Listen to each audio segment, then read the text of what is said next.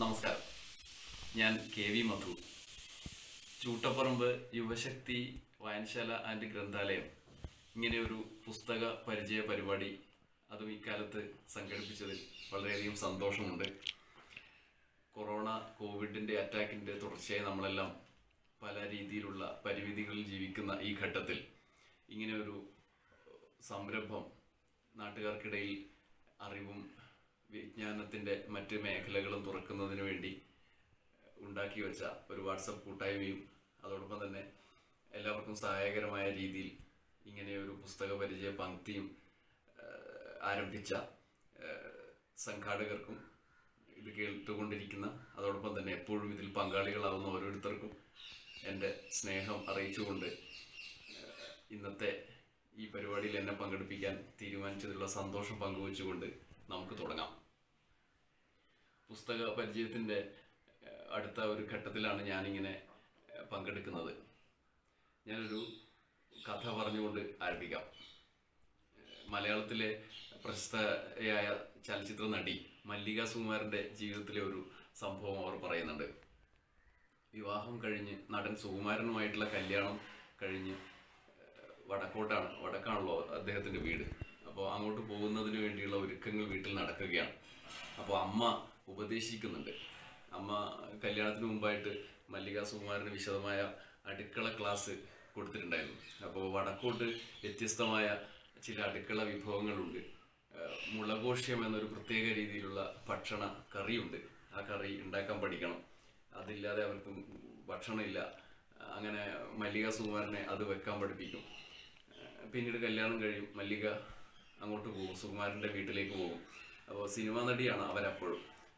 ചലച്ചിത്ര അഭിനയത്തിന്റെ ഇടവേളകളിൽ അവർ വീട്ടിൽ വീട്ടിലേക്ക് തിരിച്ചു വരും. അപ്പോൾ വീട്ടിലിരിക്കുന്ന സമയത്ത് അടുക്കളയിൽ എല്ലാ കാര്യങ്ങളും ചെയ്യണം. മരുമകളാണല്ലോ. അപ്പോൾ അച്ഛനും അമ്മക്കും വേണ്ടുന്ന രീതിയിൽ മുളകോ മുളകോഷ്യം എന്ന ഈ കറി ഉണ്ടാക്കി കൊടുക്കും. അതോടൊപ്പം തന്നെ മറ്റു കറികൾ ഉണ്ടാക്കി കൊടുക്കും. അപ്പോൾ അവർ ഈ ഒരു അഭിമുഖത്തിൽ പറയുന്ന ഒരു കാര്യമാണ് ഞാൻ പറയുന്നത്. അതിൽ അവർ പറയുന്നത് അവർക്ക് വേണ്ടുന്ന രീതിയിലുള്ള എല്ലാം ഉണ്ടാക്കി കൊടുത്ത് അവരുടെ സന്തോഷം കവരാൻ എനിക്ക് കഴിഞ്ഞു. നല്ല ഒരു പെൺകുട്ടിയാകാൻ ഒരു സ്ത്രീയാകാൻ കഴിഞ്ഞു എന്നുള്ള ഒരു കാഴ്ചപ്പാട് അതൊരു തലമുറയുടെ കാഴ്ചപ്പാടായിരുന്നു. അടുക്കളയാണ് സ്ത്രീയുടെ ഐഡന്റിറ്റി വ്യക്തമാക്കുന്നത് എന്ന ഒരു പാരമ്പര്യത്തിന്റെ കാഴ്ചപ്പാടായിരുന്നു. ഇന്ന് അങ്ങനെയാണോ അല്ലെങ്കിൽ അത് തന്നെയാണോ സ്ത്രീ എന്നുള്ള ചോദ്യം പല രീതിയിൽ ഉയരുകയും ഒക്കെ ചെയ്ത ഘട്ടങ്ങളുണ്ട്. അതിന് നമ്മുടെ കലാ മേഖലകളിൽ അതെങ്ങനെയാണ് അടയാളപ്പെടുത്തിയത് എന്നുള്ള ചോദ്യമുണ്ട്. അങ്ങനെ ഒരു ഘട്ടത്തിൽ നമ്മൾ എത്തി നിൽക്കുമ്പോൾ നടത്തിയ ഒരു മലയാള സിനിമയിലെ അടുക്കള എന്ന ഒരു പഠനം എ ചന്ദ്രശേഖരൻ പുസ്തകമാക്കിയിട്ടുണ്ട്. ഈ പുസ്തകമാണ് ഇന്ന് പരിചയപ്പെടുത്തുന്നത്. ഈ പുസ്തകത്തിൽ മലയാള സിനിമയിൽ അടുക്കള എങ്ങനെയാണ് അടയാളപ്പെടുത്തപ്പെട്ടത് എന്ന് വളരെ ഗവേഷക ബുദ്ധിയോടുകൂടി അദ്ദേഹം പരിശോധിക്കുന്നുണ്ട്. പ്രധാനപ്പെട്ട ഒരു കാര്യം മലയാള സിനിമ ആ, അടുക്കള എങ്ങനെ കടന്നു വന്നു എന്നുള്ള ഈ പഠനം നമ്മളെ കൊണ്ട് എത്തിക്കുന്നത് മലയാളി ജീവിതത്തിൽ അടുക്കള എങ്ങനെ അടയാളപ്പെടുത്തി എന്നുള്ള കാര്യത്തിലേക്കാണ്. അങ്ങനെ വരുമ്പോൾ അത് സ്ത്രീയുടെ അല്ലെങ്കിൽ നമ്മുടെ പൊതുസമൂഹത്തിന്റെ സമീപനത്തിന്റെ ഒക്കെ അകത്ത ആ- അങ്ങനെയുള്ള കാഴ്ചപ്പാടിന്റെ അകത്തളങ്ങളിലേക്കുള്ള ഒരു കടന്നുവരവ് കൂടിയാവുന്നുണ്ട്. ഒരുപക്ഷെ മലയാള സിനിമയിൽ എപ്പോൾ അടുക്കള കടന്നു വന്നു തുടങ്ങി എന്നുള്ള പഠനത്തിൽ നിന്നാണ് അദ്ദേഹം ആരംഭിക്കുന്നത്. ഈ പുസ്തകത്തിൽ എങ്ങനെയാണ് അടുക്കളയെ മലയാളികൾ കണ്ടത് ഏത് രീതിയിലാണ് അതിനെ നമ്മൾ സമീപിച്ചത് നമ്മുടെ കാഴ്ചപ്പാടുകൾ എന്താണ് എന്ന് ആ അടുക്കള അടയാളപ്പെടുത്തപ്പെട്ട സാഹചര്യങ്ങളെ പരിശോധിച്ചുകൊണ്ട് ഉള്ള ഒരു നിഗമനത്തിലേക്ക് അദ്ദേഹം എത്തുന്നുണ്ട്. ആദ്യകാലം മുതൽ തന്നെ മലയാള സിനിമയിൽ അടുക്കള അടയാളപ്പെടുത്തപ്പെട്ടിട്ടുണ്ട്. പക്ഷെ അന്നെല്ലാം നമ്മുടെ സമൂഹത്തിൽ എങ്ങനെയാണ് സ്ത്രീകളെ നമ്മൾ പരിഗണിച്ചിരുന്നത് എന്നുള്ളതിന്റെ അടിസ്ഥാനത്തിൽ തന്നെയാണ് സിനിമയിലും അടയാളപ്പെടുത്തപ്പെട്ടുള്ളത് അതിൽ എ ചന്ദ്രശേഖരൻ പല രീതിയിലുള്ള പഠനങ്ങൾക്ക് വിധേയമാകുന്നുണ്ട്. വിധേയനാക്കുന്നുണ്ട് വിധേയമാക്കുന്നുണ്ട് ഈ മലയാള സിനിമയിലെ ഓരോ കഥാപാത്രങ്ങളെയും. ഏറ്റവും പ്രധാനപ്പെട്ടത് ആദ്യകാലത്തെ ആദ്യ കാലത്തെ അടുക്കള എന്തായിരുന്നു എന്നുള്ള പഠനം തന്നെയാണ്.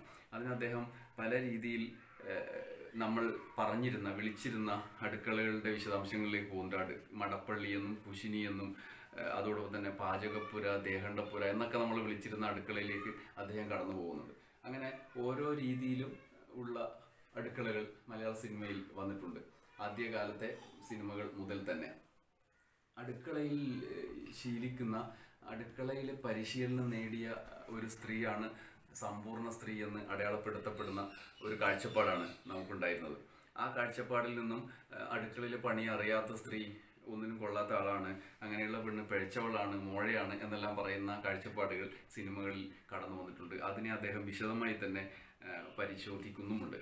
അതോടൊപ്പം മലയാള സിനിമയിൽ ഏത് രീതിയിലാണ് ഒരു അടുക്കളയ്ക്ക് പരിഗണന കിട്ടിയത് എന്നുള്ളത് പ്രധാന. ഒരു മനുഷ്യന്റെ ജീവിതത്തിൽ ഏറ്റവും പ്രധാനപ്പെട്ട സാഹചര്യമാണല്ലോ അടുക്കള. നമ്മുടെ ശരീരത്തെ നിലനിർത്തുന്ന ആരോഗ്യത്തെ നിലനിർത്തുന്ന നല്ല മനസ്സായി നമ്മളെ മുന്നോട്ട് കൊണ്ടുപോകുന്ന ഒക്കെ അടുക്കളയുടെ ഉൽപ്പന്നമായ പല രീതിയിലുള്ള ഭക്ഷണമായാലും വീട്ടിലെ സന്തോഷമായാലും ഒക്കെ അടുക്കളയിൽ നിന്ന് രൂപപ്പെടുന്നതാണ്. എന്നാൽ ഇങ്ങനെയൊന്നുമല്ലാതെ അടുക്കള എന്ന് പറയുന്നത് കേവലം ഒരു പരിഹാസ കേന്ദ്രം എന്നുള്ള നിലയിലാണ് സിനിമയിൽ ഒരു ഘട്ടത്തിൽ അവതരിപ്പിച്ചിരുന്നത്. അത് ടി എസ് കൃഷ്ണൻ മുതലുള്ള തമാശകൾ അദ്ദേഹം ഈ ചിത്രത്തിൽ ചന്ദ്രശേഖരൻ പരിശോ ഈ പുസ്തകത്തിൽ ചന്ദ്രശേഖർ പരിശോധിക്കുന്നുണ്ട്. പിന്നീട് അടൂർവാസിയായും ബഹദൂറായും ഏറ്റവും ഒടുവിൽ ഇന്ദ്രൻസായും വരുന്ന അടുക്കളയിലെ ആൺമുഖങ്ങൾ. അതോടൊപ്പം തന്നെ അടൂർ പങ്കജം മുതൽ Adoor Bhavani K P S C Lalitha മുതൽ ഇന്നത്തെ അടുക്കളയിൽ കയറുന്ന സ്ത്രീകൾ വരെ ഉള്ള പരിശോധനകൾ അദ്ദേഹം നടത്തുന്നുണ്ട്. ഇതിൽ നിന്നൊക്കെ മനസ്സിലാവുന്നത് ഓരോ കാലത്തും അങ്ങനെയുള്ള ഒരു പ്രത്യേക തരത്തിലുള്ള സമീപനം. പുരുഷാധിപത്യ മനോഭാവത്തോടെ ഉള്ള ഒരു സമീപനം നമുക്കുണ്ടായിരുന്നു എന്ന് അദ്ദേഹം വിശദീകരിക്കുകയാണ് ചെയ്യുന്നത്.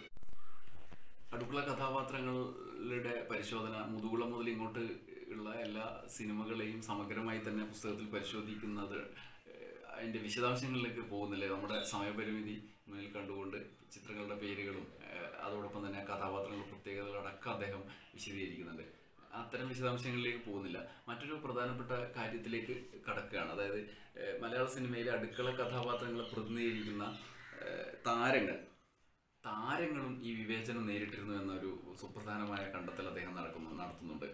അതിന്റെ ഭാഗമായി കെ പി എസ് സി ലളിതയുടെ വിശദാംശങ്ങൾ അദ്ദേഹത്തിന്റെ കഥാപാത്രങ്ങളുടെ കെ പി എസ് സി ലളിതയുടെ കഥാപാത്രങ്ങളുടെ വിശദാംശങ്ങളിലേക്ക് പോവുകയും കെ പി എസ് സി ലളിതയുടെ ഉദ്ധരണികൾ ഈ പുസ്തകത്തിൽ ചേർക്കുകയും ചെയ്തിട്ടുണ്ട്. അടുക്കള കഥാപാത്രങ്ങളായി നിൽക്കുന്ന ആളുകൾ. അത് അടൂർ പങ്കജമായാലും മുതൽ മുതുകുളം മുതൽ കെ പി എസ് വരെയുള്ള കഥാപാത്രങ്ങൾ ഒക്കെ ഇത്തരം കഥാപാത്രങ്ങളിൽ നിന്ന് മുക്തി നേടിയുന്ന ഒരു സാഹചര്യം ഉണ്ടായിട്ടില്ല. അത് ഒരു കാലഘട്ടം മുഴുവൻ അങ്ങനെ തന്നെയായിരുന്നു ആ പറയുന്നത്. ഏതെങ്കിലും തരത്തിലുള്ള സ്വഭാവ നടൻ അല്ലെങ്കിൽ സ്വഭാവ നടി എന്നുള്ള പരിണാമത്തിന് വിധേയമാകുന്ന രീതിയിൽ ശക്തമായ കഥാപാത്രങ്ങൾ കൊടുക്കാതെ അവരുടെ ഹാസ്യം ഉൽപ്പാദിപ്പിക്കുന്നതിനുള്ള ഒരു കേവല വേദിയായി അടുക്കളയെ കാണുകയാണ്. അത് ഒരു അടുക്കളക്കാരി നേരിടുന്ന അവഗണനയ്ക്ക് തുല്യമായ അവഗണന അടുക്കള കഥാപാത്രങ്ങളെ അവതരിപ്പിച്ച താരങ്ങളും നേരിട്ടിരുന്നുവെന്ന് അദ്ദേഹം ഒരു നിഗമനം അദ്ദേഹം നിരീക്ഷണം അദ്ദേഹം അവതരിപ്പിക്കുന്നുണ്ട്. അതോടൊപ്പം തന്നെ പിന്നീട് ഒരുപാട് കാലത്തിന് ശേഷമാണ് ഇതിൽ നിന്ന് മുക്തയായത് എന്ന് കെ പി ലളിത പറയുന്നുമുണ്ട്. ഏഹ്, സത്യനന്ദിക്കാടന്റെ ഒക്കെ സിനിമ ആണ് അതിൽ നിന്നൊരു രക്ഷ നൽകിയത് എന്ന് കെ പി എസ് സി പറയുന്നുണ്ട്. ഇന്ദ്രൻസിന്റെ ഒക്കെ വിശദാംശങ്ങൾ അദ്ദേഹത്തിന്റെ പ്രതികരണങ്ങൾ ഉൾപ്പെടെയാണ് നിരീക്ഷണങ്ങളിലേക്ക് ഈ ഗവേഷകൻ എ. ചന്ദ്രശേഖരൻ എന്ന ഗ്രന്ഥകാരൻ എത്തുന്നത്. അതോടൊപ്പം തന്നെ ഏറ്റവും പ്രധാനപ്പെട്ട മറ്റൊരു കാര്യം അടുക്കള എന്ന ഒരു സിനിമ തന്നെ ആ പേരിൽ ഒരു സിനിമ തന്നെ മലയാളത്തിൽ ഉണ്ടായി പക്ഷേ ആ സിനിമയുടെ പേര് മാറ്റേണ്ടി വന്ന ഒരു സാഹചര്യം അദ്ദേഹം വിശദീകരിക്കുന്നുണ്ട്. നമ്മുടെ രവി ആലുമൂട് എന്നൊരു ഒരു വളരെ സർഗാത്മകതയുള്ള ഒരു സംവിധായകൻ നമുക്കുണ്ടായിരുന്നു. എം. സുകുമാരന്റെ ശേഷക്രിയയൊക്കെ സിനിമയാക്കിയ രവി ആലുമൂട്. രവി ആലുമൂടിന്റെ ഗംഭീരമായൊരു സിനിമയായിരുന്നു അടുക്കള. എന്നാൽ പല രീതിയിലുള്ള പ്രശ്നങ്ങൾ ഉണ്ടാവുകയും വിമർശനങ്ങൾ രൂപപ്പെടുകയും ഇത്തരമൊരു പേര് വന്നു കഴിഞ്ഞാൽ ഉണ്ടാകാവുന്ന പ്രശ്നങ്ങളെ പലരും ശ്രദ്ധയപ്പെടുത്തുകയും ചെയ്തതിന്റെ തുടർച്ചയായി. ആ സിനിമയുടെ ഒരു നിലവിളക്ക് എന്നാക്കി മാറ്റുകയും ചെയ്ത ഒരു കഥ ഈ സിനിമയിൽ പറയുന്നുണ്ട്. പക്ഷേ ഏറ്റവും വലിയ ദുരന്ത ആ സിനിമ പിന്നീട് പുറത്തിറങ്ങുകയും ചെയ്തില്ല. അമ്മായി അമ്മയും അമ്മയും മകളും ഒക്കെ അടങ്ങിയ ഒരു സാഹചര്യത്തെ വളരെ വിശദമായി തന്നെ സർഗാത്മകമായി അവതരിപ്പിച്ച അടുക്കള എന്ന പേരുള്ള പിന്നീട് നിലവിളക്ക് എന്ന പേരിലേക്ക് മാറി ആ സിനിമ പിന്നീട് പുറത്തിറങ്ങിയിട്ടേ ഇല്ല എന്നാണ് അദ്ദേഹം പറയുന്നത്. എന്നാൽ പിന്നീട് സിനിമയുടെ ദുരന്താത്മകമായ ഒരു കാലം അടിമ എന്ന സിനിമയിലെ പൊന്നമ്മ മുതൽ നീലത്താമരയിലെ കുഞ്ഞുമാൾ വരെയുള്ള കഥാപാത്രങ്ങളുടെ അടിസ്ഥാനത്തിൽ എന്തുകൊണ്ട് അടുക്കളക്കാരി അവതരി അനുഭവിക്കുന്ന വേദനയെ അല്ലെങ്കിൽ ആ പ്രശ്നങ്ങളെ കൃത്യമായി അവതരിപ്പിച്ച് പോരുന്നുണ്ട് ഈ പുസ്തകത്തിൽ. എന്നാൽ പിന്നീട് പുതിയ കാലത്തെത്തുമ്പോൾ ഉണ്ടാക ഉണ്ടാകുന്ന കാഴ്ചപ്പാടിലെ മാറ്റത്തെ വിശദമായി തന്നെ ഇദ്ദേഹം പരിശോധിക്കുന്നുണ്ട്. നേരത്തെ തന്നെ കെ ജി ജോർജിന്റെ ആദാമിന്റെ വരിയിൽ പോലുള്ള അപൂർവമായ വിപ്ലവകരമായ നീക്കങ്ങൾ നടന്നിരുന്നു. പുരോഗമനപരമായ കാഴ്ചപ്പാടോടുകൂടി അവതരിപ്പിച്ച ആദാമിന്റെ വാരിയൽ പോലെയുള്ള സിനിമകൾ. അത്തരം സിനിമകൾ പിന്നീട് അലീസിന്റെ അന്വേഷണം പോലുള്ള സ്ത്രീപക്ഷ സിനിമകൾ ടി വി ചന്ദ്രനും കെ ജി ജോർജും ഒക്കെ കൂടി പരീക്ഷണത്തിന് വിധേയമാക്കിയ ഒരു മേഖലയാണല്ലോ സിനിമ. പിന്നീട് ഏറ്റവും പുതിയ കാലത്ത് ഇത്തരത്തിലുള്ള മാറ്റം പല രീതിയിൽ ആവിഷ്കരിച്ചിട്ടുണ്ട്.